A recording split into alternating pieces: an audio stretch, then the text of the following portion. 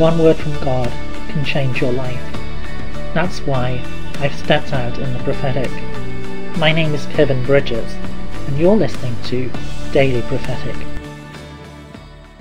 The Lord says, Don't be afraid. Take the first step. Take the first step along the journey that is ahead.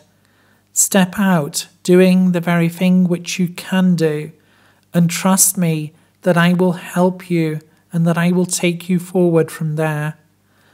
Respond by faith, doing the thing which you can do, and allowing me to do my part.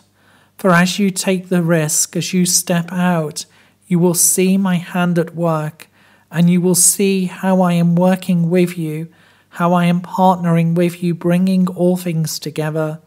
Do not hold back, waiting for the whole picture to be made clear, but step out and do that which you can do.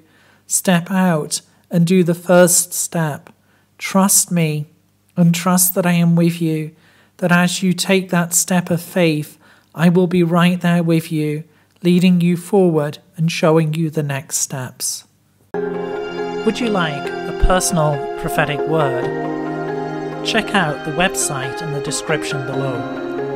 Don't forget to subscribe to get your daily word of encouragement. And whilst you're here, why not have a look at some other of the videos that I've made?